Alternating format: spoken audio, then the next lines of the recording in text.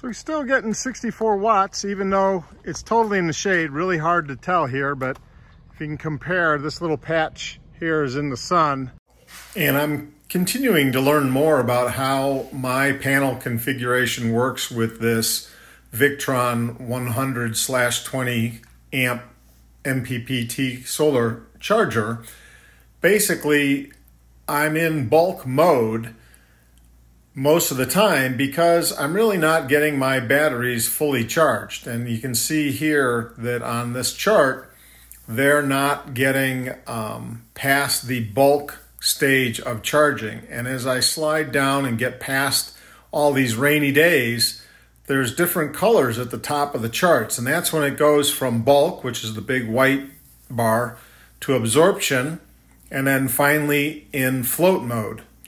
So unfortunately, we're getting so much rain here in East Tennessee that I'm rarely getting enough sun to fully charge up my batteries over the amount of usage I'm doing. So I'm basically using more power than my panels can create in that shaded location.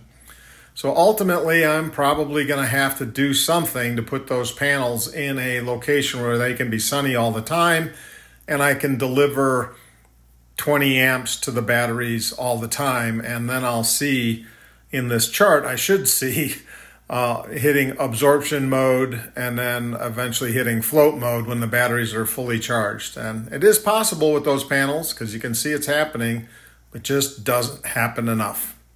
So lessons learned, if you can, get your panels in a really sunny area.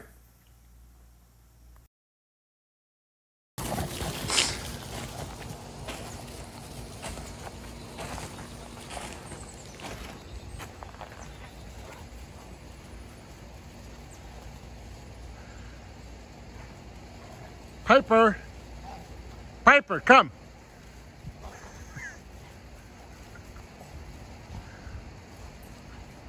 come on. Be nice to your handicapped white brother. Good girl.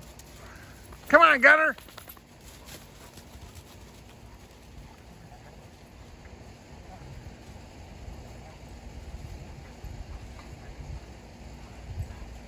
Piper, you play too rough.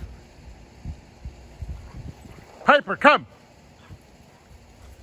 Good girl. Good boy, Gunner.